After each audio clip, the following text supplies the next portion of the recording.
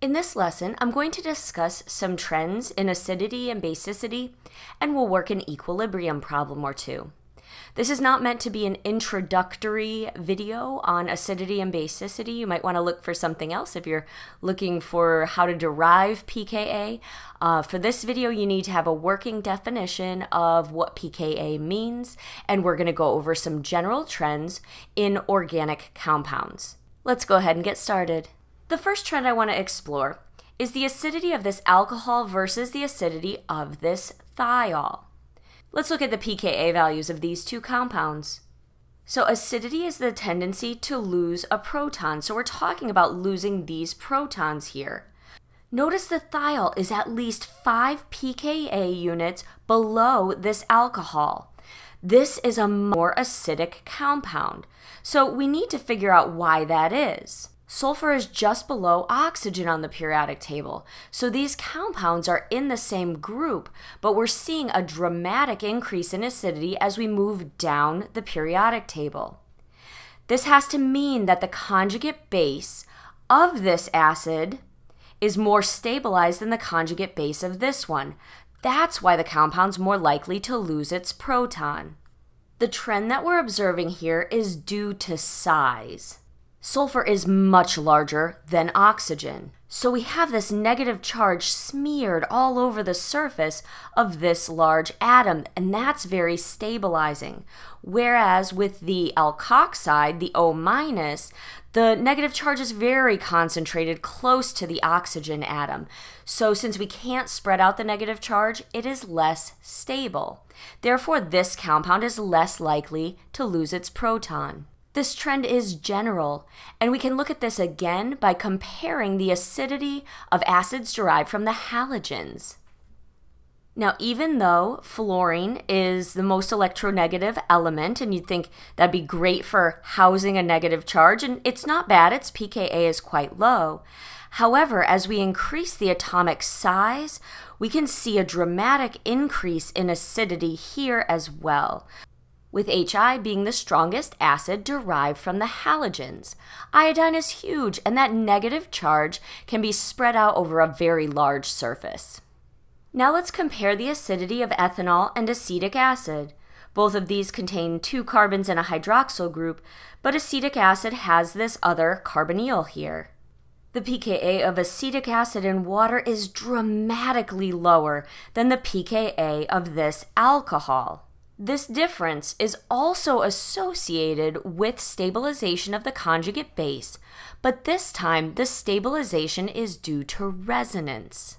When we draw the conjugate base of acetic acid, we can push electrons to spread the negative charge out over the two oxygen atoms. That arrow pushing looks like this, and the resulting resonance form has the negative charge on the other oxygen. Resonance stabilization of the conjugate base is a very powerful effect. We can see this dramatic increase in acidity for this carboxylic acid here versus this alcohol.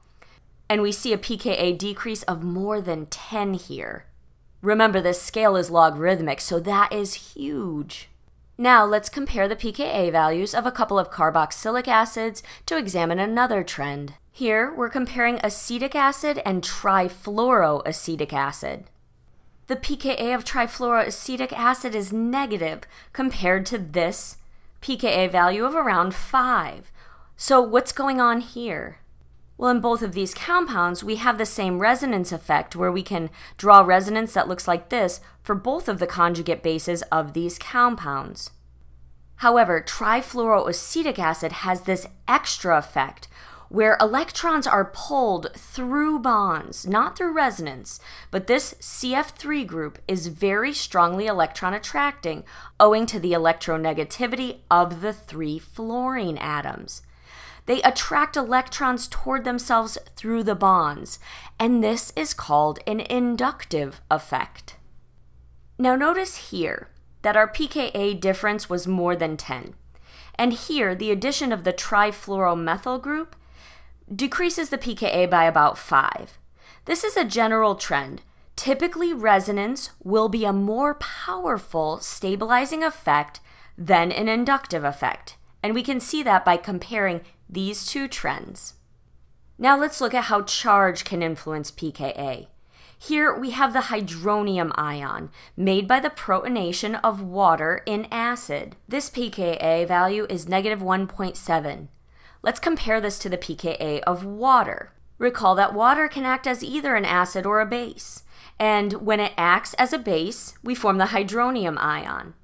Water itself can act as an acid and form hydroxide, losing this proton, and the pKa value for that deprotonation is 15.7. So, loss of this proton off this charged species, giving oxygen back its lone pair, is very low.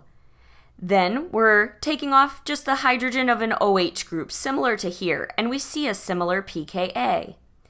And let's just look at the species that results from the deprotonation of water. This is the hydroxide ion.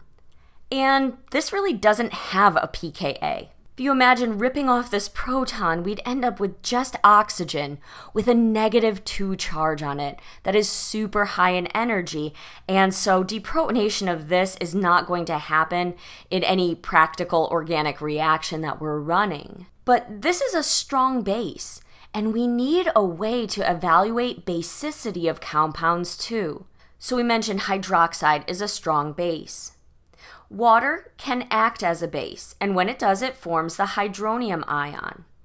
Now, the hydronium ion does have one lone pair on oxygen, but this is not a basic species. In order to accept another proton, it would have to gain a plus two charge on this very small molecule, and that's really not going to happen. Now, say we want to compare the basicity of ammonia versus this anion formed by the deprotonation of ammonia. Often this has a counter ion, maybe a sodium. So this might be the compound sodium amide, and this is just the uh, negative part of that. What we can actually do is look at the conjugate acids of both of these compounds and compare their pKa's to glean information about the basicity. This compound is the corresponding conjugate acid of ammonia, and this is the conjugate acid of this deprotonated species. Now we can see that this pKa here is much lower. That means this is a more acidic compound than this is. So this is much more likely to lose its proton and form this. However, this compound isn't very likely to lose a proton at all. It has a really high pKa, so this proton is not very acidic. So once we make this compound, it's really unstable. It didn't want to lose that proton. So if we have a very high pKa, we know that compound, the compound resulting from its deprotonation, will be the much stronger base. Therefore, this compound is much more basic than ammonia. So we can generalize a bit and say that positively charged compounds will make better acids, and negatively charged compounds, analogous compounds, will make better bases. Pyridine is another base commonly used in organic reactions. It uses a lone pair on this nitrogen to accept a proton, forming this conjugate acid. The conjugate acid, pyridinium, has a pKa of 3.4. So we can see that pyridine is less basic than ammonia or sodium amide. Now let's look at what happens when we substitute pyridine with a couple of different groups at the 4 position right here. Now remember, these compounds won't really have a pKa relating to protonation of this nitrogen. We need to look at the conjugate acids. So the pKa of this conjugate acid is 1.6, much, much lower than this conjugate acid here. And the pKa of the conjugate acid, the protonated version of this, is 6.0. What that's telling us is this compound is not as good of a base. The conjugate acid has a low pKa, so it's much more likely to exist in this form with the proton gone. This compound is a much better base. We've got this higher pKa, meaning that it's much more likely to accept a proton. It doesn't want to lose the proton on the pyridinium as much as this nitro compound. To examine this trend, I find it useful to look at the conjugate acid and see if there's any stabilization. So now that I've shown this conjugate acid, I want to know how the sulfur is influencing this wanting to be protonated so much more than the nitro compound here. So I look to this and see if I see any of these effects. And there's actually a resonance effect here. We can take a lone pair on sulfur and push through this ring until we are able to neutralize the positive charge on nitrogen by giving it electrons back. Let's look at what the resonance form looks like. So this sulfur group is electron donating. We see that we can push electrons through the system and neutralize the charge on this conjugate acid here. That means that the charge is more stabilized once this becomes protonated, and that makes it a better base. So, why can't the nitro stabilize in the same way? Well, the nitro has a formal positive charge on this nitrogen. There are no electrons that it can use to stabilize a positive charge forming over here. In fact, this is a powerful electron withdrawing group. So this wants to pull electron density away from the ring, away from this nitrogen, making its lone pairs less available to act as a base. And so that's the contrasting effect that we're seeing here.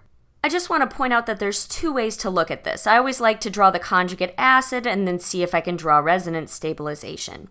However, you could actually draw resonance using this molecule here, and both of these ways are equal. You could do it your way if you if you find this is better.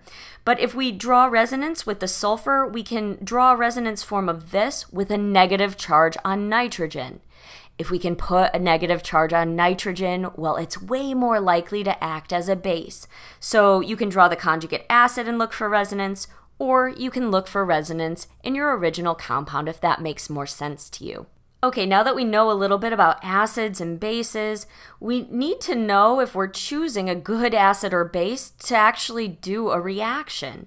And to figure this out, we'll need to look at equilibrium. We know from our discussion that pyridine is a base and that ethanol is an acid. So if we go into the lab and we treat ethanol with pyridine, will that be strong enough to deprotonate it? We need a way to figure this out. And fortunately, we can use pKa values to figure out the direction of the equilibrium and estimate how far the equilibrium lies in that direction. What we first need to do is draw the conjugates of these. So imagine ethanol is deprotonated by pyridine. We'll draw the conjugate acid of this and the conjugate base of this compound. Now, remember, we don't have a pKa for this, and this has a negative charge, so we really don't have a pKa for this. But we can compare the pKa's of these acids.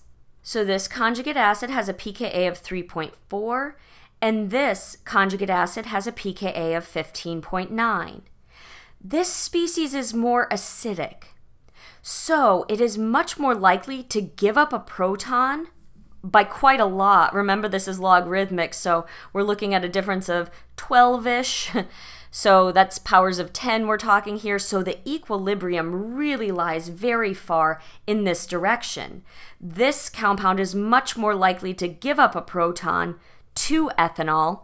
And so these are the species that predominate in solution by quite a lot. So here our equilibrium lies very far toward our reactants. Let's look at one more example. So here we're asking the question is NaOH a good base to deprotonate my thiol? Let's draw the conjugate acid of NaOH and the conjugate base of our thiol. So here's one acid and here's the other. Let's add in our pKa values. This pKa is about 10 in water and this is 15.7. So we can see our thiol is much more likely to give up a proton being the stronger acid in our equilibrium. We have a pKa difference of about 6, so that translates to the equilibrium lying quite far in this direction. So NaOH is a great base to deprotonate our thiol, and we might want to use that deprotonated thiol in um, an SN2 reaction or something like that. KP here. If you learned something, give me a thumbs up on the way out, and for more chemistry, subscribe to my channel.